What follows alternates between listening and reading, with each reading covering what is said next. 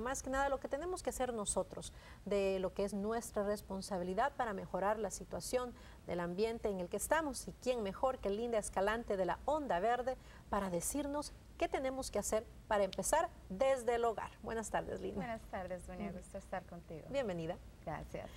¿Cuáles son las cosas que tenemos que hacer para crear una limpieza verde en el hogar? Bueno, hay que uh, tener en cuenta que la mayoría de los productos que tenemos en casa para limpiar son basados en petróleo. Y el petróleo es malo para el medio ambiente. Ya sabemos de que no es un recurso renovable, renovable, viene de áreas con conflicto, etc. Eh, también lo que sucede, uno de los graves problemas de los, de productos de limpieza en el hogar es que tienen químicos tóxicos que son muy malos para el medio ambiente y especialmente son muy malos para la salud de nuestra familia. Entonces hay que, hay, que tener mucho cuidado y hay muchas cosas. Yo creo que lo ideal sería regresar a la forma de limpiar como hacían nuestras abuelas, usando productos caseros como el bicarbonato de soda, el vinagre blanco, el agua, el agua caliente, el, el jaboncito nomás, limón, sal y diferentes mezclas de estos productos ah, te pueden ayudar a limpiar todo lo que tú quieras en la casa sin tener emisiones de gases tóxicos. Por ejemplo, tú tienes ahorita ahí sal, aceite de oliva, agua caliente. Si mezcla uno el aceite de oliva y el vinagre, podemos limpiar ah, madera. madera, se pueden los muebles de madera. También con limón, sea vinagre o sea, o sea goticas de limón, se pueden echar a una mesa de madera y ahí te queda limpia, porque muchos de los, de los químicos que se utilizan para, para madera también emiten cosas que hay, hay químicos que te producen, ah, pueden producir cáncer, uh, problemas hormonales y reproductivos, problemas renales. Y lo más inofensivos te pueden uh, poner, hacer peor el asma, digamos, si hay niños con asma en la casa, o tener irritaciones en la piel, los ojos, cosas Y los polvos y los productos de limpieza que utilizamos para limpiar la tina generalmente tienen olores bastante fuertes. Sí, usualmente esas cosas. Y, digamos que una, una, buena guía para la gente cuando va al, al mercado a hacer compras es, si tú sacas la botella y dice que es tóxico, que es malo para la salud, que cuidado, advertencia de salud, puede explotar, inflamable, cosas así, es que es, es que es, muy peligroso. Entonces, idealmente, ahorita hay muchos productos, eh, casi en todos los supermercados se pueden encontrar productos verdes, productos naturales. Eso sí, no todo lo que diga natural quiere decir que es natural.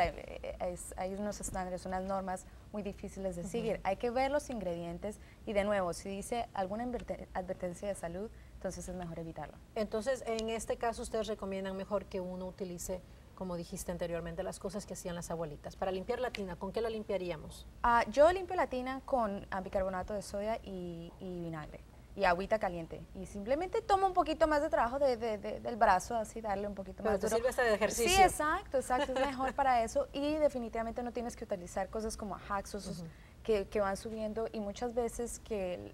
Mezclamos. Oh, eso es lo peor. A mí me pasa que a veces mezclo el limpiador en polvo con el blanqueador y luego quedo toda mareada y me duele la cabeza. Sí, imagínate, si esas son las, las, síntomas que sientes que te estás haciendo en el cuerpo. Hay muchas veces que eso es, eso es peligroso, uh, especialmente cuando uno mezcla cloro con amoníaco, eso puede ser hasta letal. Y también una, un buen consejo es abrir las ventanas, dejar que entre el aire libre para circular todos esos tóxicos también eh, para que se Y ahorita que dices abrir las ventanas también para mantener el, el medio ambiente que, eh, que podemos usar en lugar de los aerosoles. Bueno, aparte de abrir las ventanas, se pueden a, cocinar, calentar el agua y poner a, canela, por ejemplo, cosas así. Ahí venden, venden ambientadores basados en naranja, en cítricos, que no son tóxicos, esos son buenos porque las fragancias tienen falatos, que era lo mismo que hablábamos en los juguetes plásticos suaves, y eso tiene efectos hormonales. Especialmente este tipo de cosas tienen más que todo el impacto en los niños, en los ancianos y en los adultos que tienen a su sistema inmune comprometido.